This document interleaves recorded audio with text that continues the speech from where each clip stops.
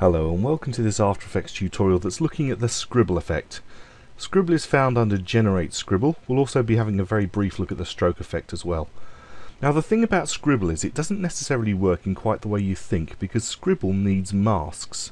It won't work unless there are masks. So if we create a new composition, I'm going to make mine PAL widescreen square pixels, 5 seconds long, click OK and I'm going to create text.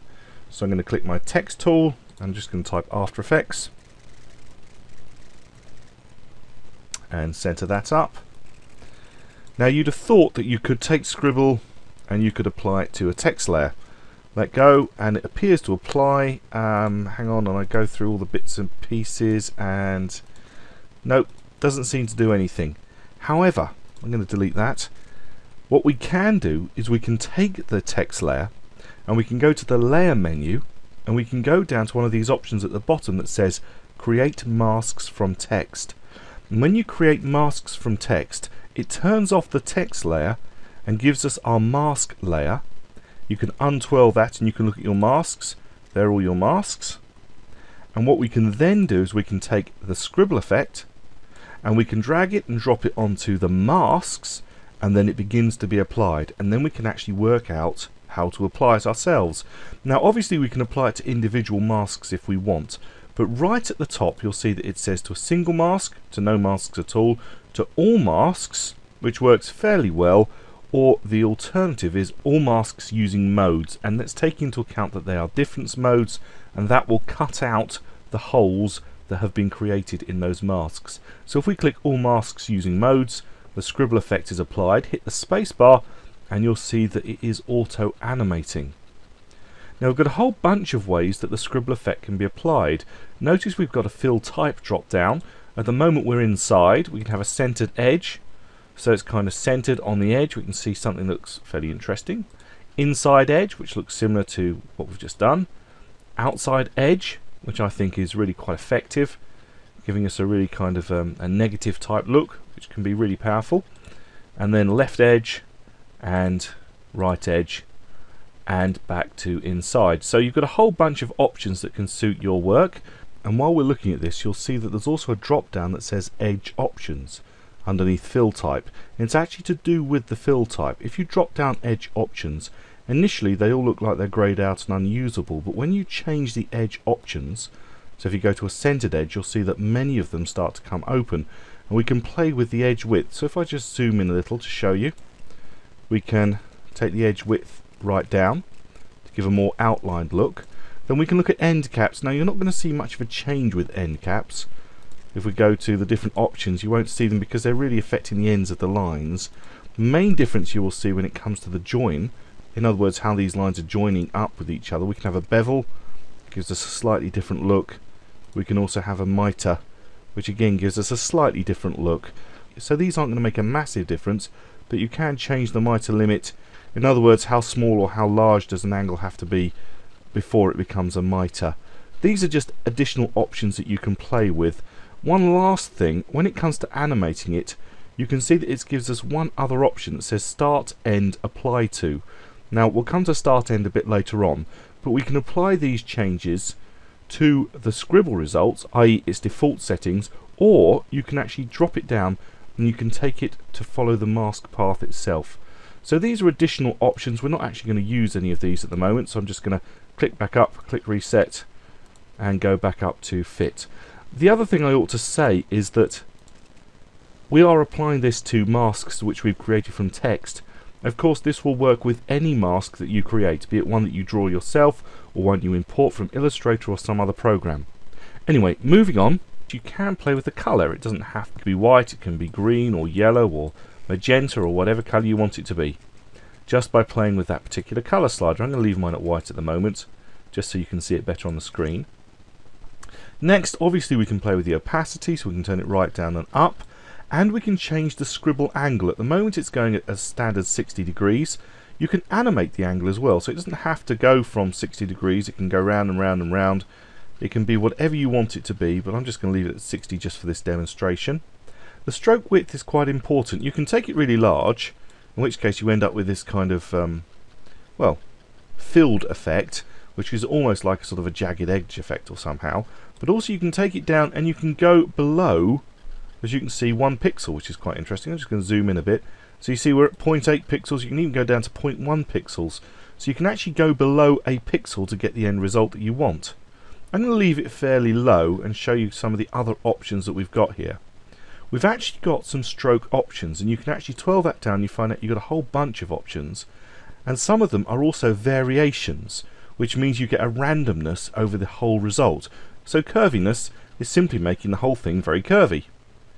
But if you can turn that down a bit and we turn up the curviness of variation, you'll see that it randomizes which bits are very curvy and which bits aren't so much curvy, which gives a much better, more random look. And with Scribble, obviously you want it to look very random.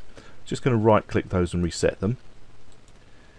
And the same goes with spacing. If I take spacing out, you can see that the line spacing comes broader and broader until it almost doesn't look like um, a, a, scribble effect at all, or certainly a very, very limited scribble effect. Going to zoom in again on that one.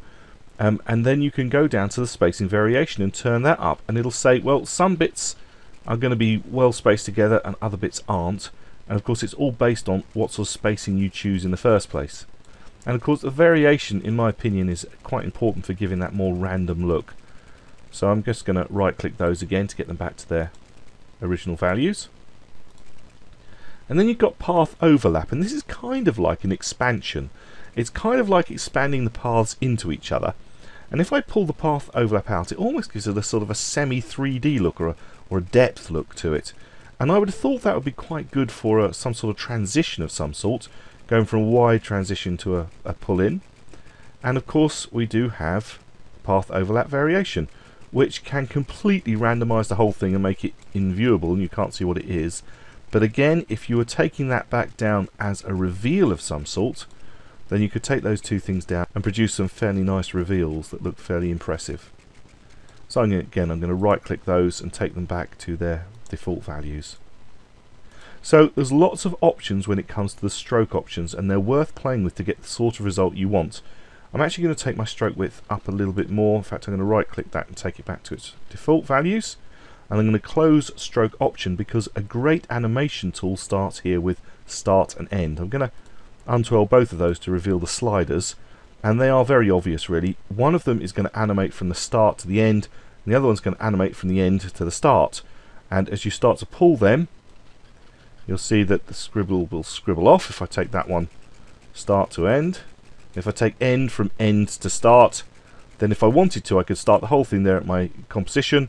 I can take my current time indicator to the beginning, hit the stopwatch at the beginning, go to the end of the composition and take that across. And you'll see that I would have animated on my After Effects scribble all the way through. Now, of course, there are other options. You don't actually have to have it animating at all. It is auto-animating. You can have it completely static, in which case it won't do anything, but it will come on without scribbling which can be quite nice for a write-on effect. Or alternatively, you can have it as a, as a jumpy effect, which is kind of, well, giving that almost posterized look, as if it's um, not quite right or it's a, a poor frame rate. So it's up to you depending on what your animation is going to be. You can play with how many wiggles per second, so that it can go a lot quicker or it can go a lot slower depending on what your animation requires. And random seed is just a different starting point you can change the random seed and it'll just show it starting in a different place so that if you've got a number of things all starting together and you don't want them to all look as if they're starting at exactly the same place each one of them can start with a different random seed. The last one is fairly interesting. It says composite on transparent. So at the moment you can see we're compositing straight on a transparent background but we can on the original image. So there's the original image and we're kind of scribbling around the edges which is quite an interesting look and also we can reveal the original image which I think gives us a much straighter edges so it reveals it and it doesn't give us the, the, the scribbling over the edges this is more like a girl scribble the girl scribble is always inside the lines whereas boy's scribble is always outside the lines. Well, mine always is anyway. So it's those sort of options that you can have. Of course, one of the great things about Scribble is it works very well in conjunction with the stroke effect, which also needs masks. So if I go over here and go stroke, you'll see that we've got the stroke effect right at the bottom. Generate stroke, and take the stroke effect and we can drop it on the same layer. And it gives us a stroke. I'm going to open up, uh, in fact I'm going to close the scribble. We'll just look at stroke. At the moment it says it's just going on the A, but of course we want it to go on all masks. So it's going to affect all of those masks and we can change the colour. I'm just going to choose a colour that's obvious like red at the moment and we can work through this very quickly. At the moment it says stroke sequentially and that's to do again with these start and end options. So if I play with the start and end options you'll see that we can stroke sequentially as they come in through the masks. However, if we uncheck that box, you'll see that they just come in as masks from start to finish so from the top to the bottom. So it's up to you again, depending on how you want to reveal things, how you're doing them. For me, stroke sequentially is quite nice. Um, the difficulty we have, and in fact I'm going to animate the end as we did with the scribble effect, I'm going to click the stopwatch, go to the end and take it out to 100%, is that sometimes what you will find is that the stroke doesn't come on in conjunction with the scribble. So the scribble will be doing something somewhere and the stroke will be doing something somewhere else and it won't look quite right. In this particular example it's, it's okay, it's not too bad, but the two don't always work absolutely perfectly side by side. So just be aware that you might have troubles with those. Okay, let's just go through a couple of other bits and pieces. Obviously the brush size is how big the stroke is going to be and the hardness is going to be how soft it is. We're going to have a very soft edge stroke or a very hard edge stroke. Um, I think the default's fine with that one, so I'm going to reset that one to default. And opacity, because obviously sometimes you want it there, but you don't really want it absolutely in your face. You just want it showing in the background. At the moment, however, I'm going to leave it showing just to demonstrate the final couple of bits and pieces. Spacing is quite an interesting one. Effectively, it allows this solid line to be turned into a series of dots. So one end it's a solid line, the other end, as you keep on pulling through, your stroke becomes a series of dots which can actually be quite effective. So you can have more of a, a, Vegas type look. There is a Vegas effect, but you can get this kind of look. It doesn't rotate around, but it does give you some interesting dotty looks. And then we've got the paint styles at the bottom. Now again, we're on the original image, but you can do it on transparent. However, if you do that, you won't see the scribble effect. You'll just be seeing the stroke effect and that's showing it the way around we've got it at the moment with the scribble at the top and the stroke at the bottom. If you were to take the scribble to the bottom and you did that, you would lose your stroke effect entirely. So um, if you've got the stroke effect and you have it on just showing the transparent, then you might as well not bother with the scribble in the first place. But you can still get a nice effect. It looks, still looks pretty cool as far as I can see. And the last one we have is the reveal original image, which gives us an interesting sort of um, cutout effect which is quite interesting and uh, I, I, think looks really nice. And of course you can change the colour of that. At the moment it's white because my scribble is white. If I open up my scribble and I was to change that say to bright green and click OK then I can have a bright green sort of revealing of the scribble stroke edge. And if you want to make it bigger of course you can actually make the brush size of the stroke bigger and you can get a much bigger look depending on how big obviously the, the brush size is in stroke and the colour is based on the colour of the scribble. Take that back to white. So that's how you can create some very interesting text looks with scribble and stroke. It would be wonderful if we could apply this scribble effect to say a shape layer but unfortunately it's not absolutely straightforward. You can't just drop it onto a shape layer. So in the next tutorial very briefly I'm going to show you how we can apply this scribble effect and if you then want the stroke effect as well how we can apply it to a shape layer through using other tools that we have in After Effects. My name's Andrew Devis, I hope you found this tutorial useful and thank you for watching.